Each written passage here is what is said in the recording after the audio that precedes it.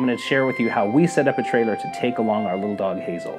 So you can see here we have the Porta-Crate and we have the Burley cargo trailer. You can see here that it fits nicely right in the trailer.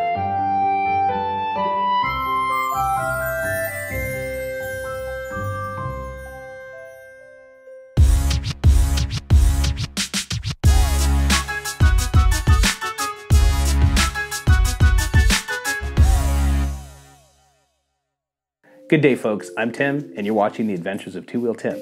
I see in a lot of e-bike chat rooms people asking about how to hook up a trailer to their bike so they can take their dog along. And I've also had a few questions come up from my viewers who have seen us trailer our dog along with us.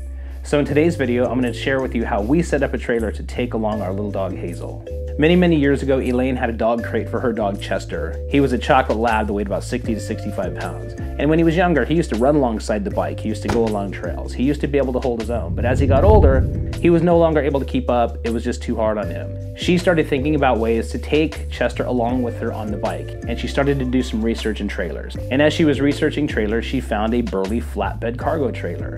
And this trailer just happened to have about the same dimensions as the blue Porta-Crate that she had for Chester. So she took Chester's blue Porta-Crate and she strapped it into this Burley flatbed cargo trailer. And because the Burley flatbed cargo trailer holds up to 100 pounds, it easily held the 20 pound crate and the 65 pound dog.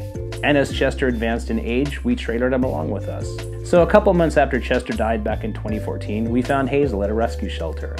And she's a sprightly little 30 pound terrier mix that loves to go along on the bike with us.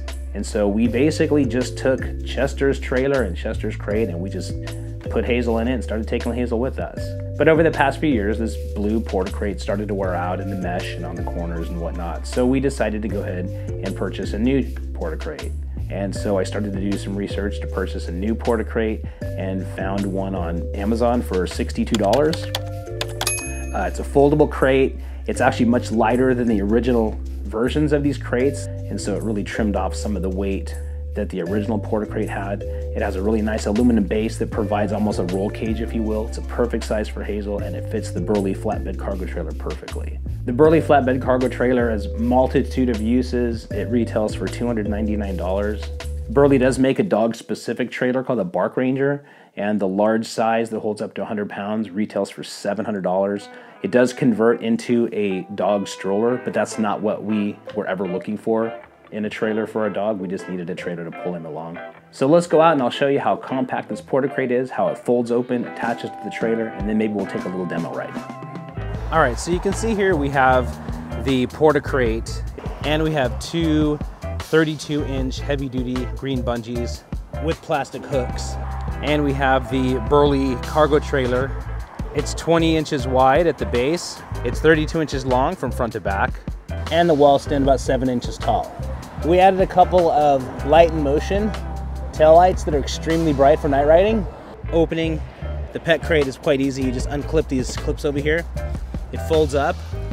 There are aluminum rails inside that fold open and attach to one another, like so.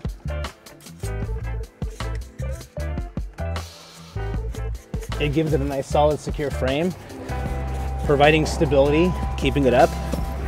Very solid, very light. It has the little sunroof here that you can zip and unzip and it rolls open and will actually Velcro open if you want to leave it open for your pet. We oftentimes do leave it open with Hazel. And it has a mesh door in the back.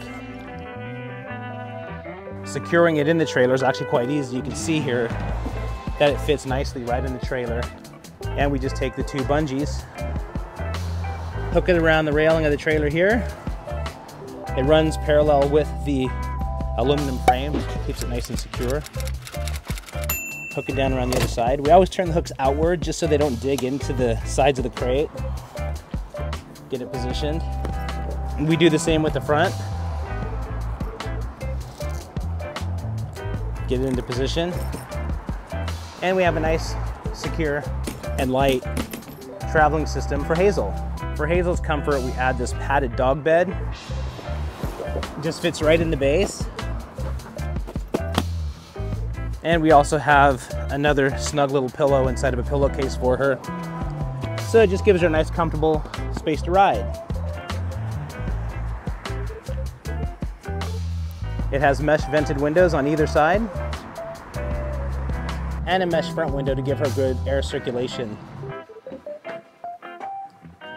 All right, so that's Hazel's Porta Crate, and that's our Burley flatbed cargo trailer. Mind you, that cargo trailer is very old. It's probably 15, 16 years old, and the new versions have uh, new quick release wheels and have made some upgrades. I'm sure they're just a little bit lighter in weight, uh, but it's still a nice trailer, and it still works really well for us. The cargo trailer connects just about every one of our bikes, from Elaine's old school Schwinn beach cruiser to her old school Le Mans Buenos Aires road bike, to her Biktrix Juggernaut Hub Duo. And I've even connected it to my Biktrix Juggernaut Ultra Beast 2. Now I will say that the Burley hitch does attach to most axles. As you can see on Elaine's road bike, it's just a standard quick release and it attaches no problem. And the axle on her Hub Duo is just a standard threaded axle. Uh, on my Ultra Beast 2, because it's a through axle, it was actually too big for the Burley type hitches.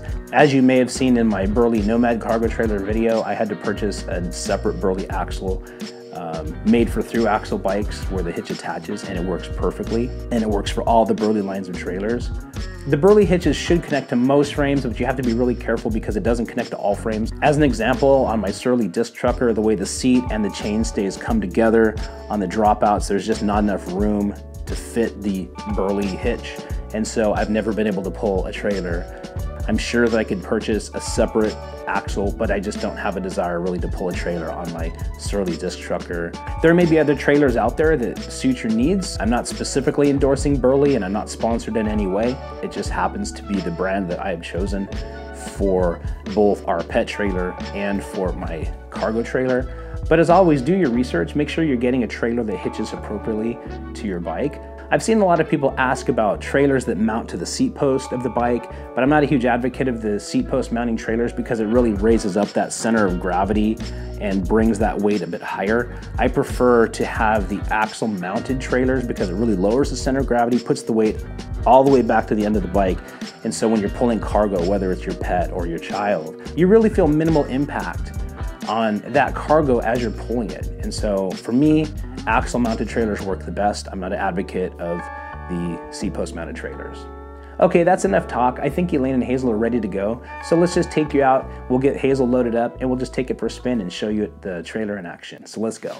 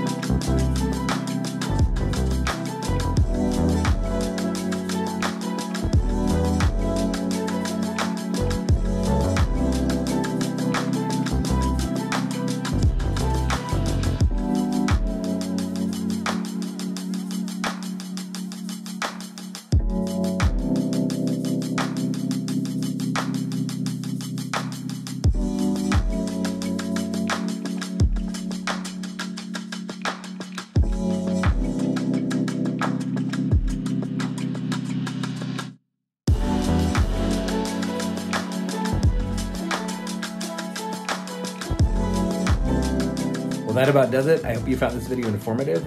If you like what you saw, please don't forget to subscribe, like, ring the bell for notifications, and feel free to leave your comments and questions below. Thanks for watching, and we'll see you in the next one.